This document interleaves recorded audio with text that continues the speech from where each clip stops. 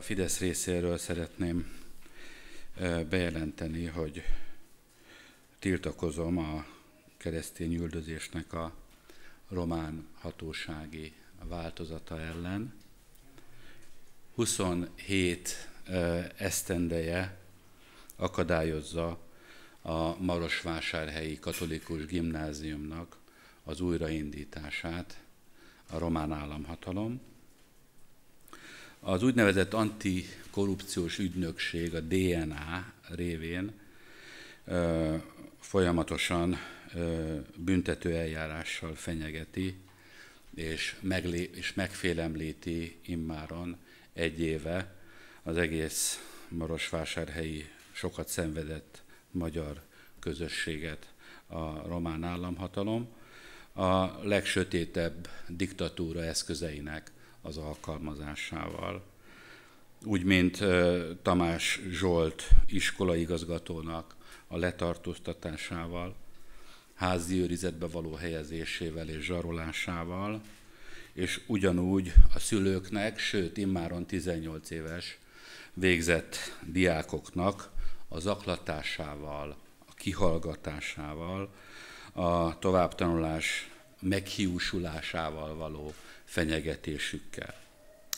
Egyidejűleg viszont szeretném üdvözölni azt, hogy a mai napon eh, a római katolikus eh, érseknek a felhívására egy tiltakozó eh, akcióra kerül sor Marosvásárhelyen.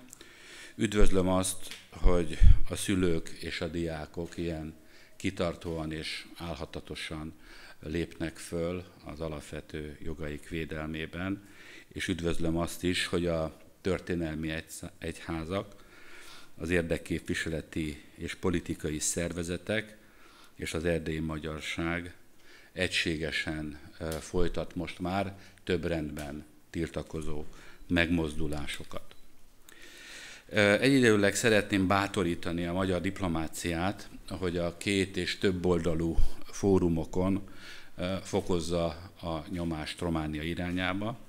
Különösen fontosnak tartom ezt a, a Vatikán, az Egyesült Államok, az Európai Unió és az Európa Tanács csatornáin keresztül.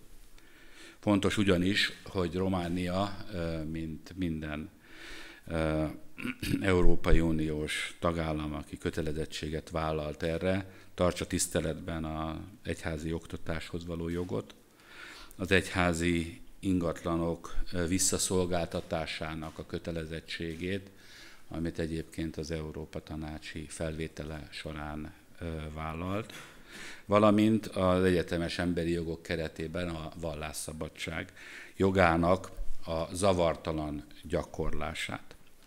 És egyidejűleg állítsa helyre az, egy, a, az igazságszolgáltatás függetlenségét, és állapítsa meg a kialakult helyzetért a felelősséget. És végezetül bízom abban is, hogy Románia minél szélesebb közvéleménye, nyilvánossága, beleértve egyébként a román ortodox egyházat is, felismeri ezt a nyilvánvaló jogtiprást, hangot ad a katolikus magyar közösséggel való keresztény szolidaritásának, elítéli a megfélemlítés légkörének a kialakítását, és ezáltal elejét vesszük annak, hogy az Európai Unió kereti, keretei között folytatódjon az a keresztény üldözés, amit az előbbiekben a keresztény üldözés román hatósági változatának neveztem.